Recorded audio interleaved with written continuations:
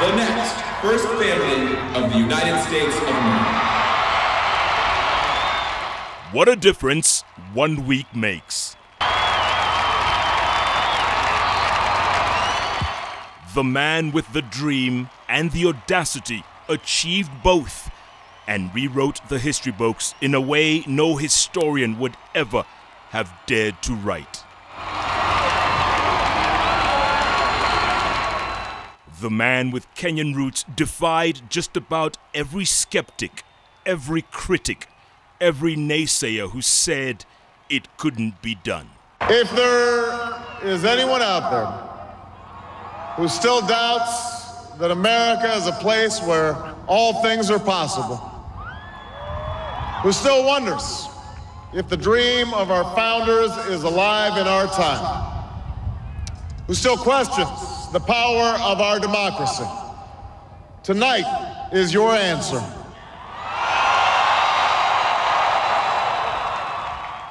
But while we all pause to take a collective breath and savor this monumental achievement, let us at the same time sit back and look at how this son of the soil dreamed the improbable dream and achieved the impossible. For that, we need to take a quick trip down memory lane. Back in 1963, the year Kenya attained independence, young Mwai Kibaki was 31 years old and had just been elected Member of Parliament for Bahati. At the same time, young Raila Odinga was just reaching voting age and was soon to head to what was then East Germany to study engineering. Thousands of miles away, Barack Obama was just two years old, living in Hawaii with his single mother after his Kenyan father abandoned the family for further studies before he would return home and start a new family. Barack would not see his father again until he was 10 years old. The rest, as they say, is history. Fast forward to 2008. Former Bahati MP Mwai Kibaki is 76 years old, the country's third president since independence. He's also Kenya's longest serving politician and undoubtedly the most powerful man in Kenya. Raila Odinga is 63 the country's second prime minister since independence and leader of the largest political party. He also gets the title of second most powerful man in Kenya. Meanwhile, the son of the Kenyan father and American mother turned 47 in August has managed to defy and destroy just about every racial, political, and economic stereotype in America and has gone on to become the most powerful man on the planet. Now, if time is kind to all three men, Kibaki will be 80 when his term finally expires in 2012.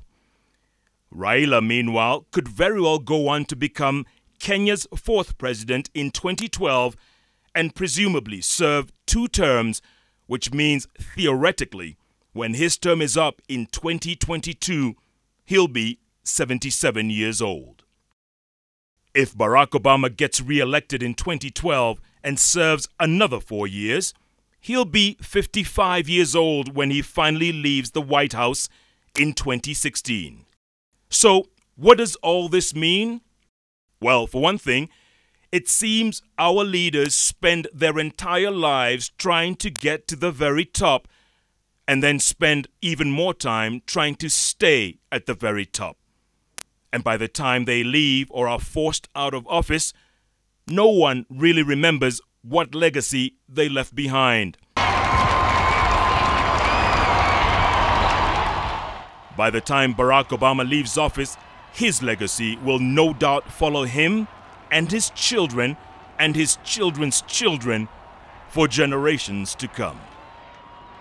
The bottom line before we all rush to the U.S. Embassy for visas and declare ourselves America's 51st state, let's pause to remember that at the end of the day, we get what we deserve.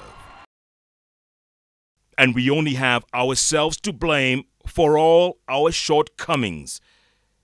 It seems like it's going to be a while in Kenya when we can proudly say, Cometh the moment, cometh the man.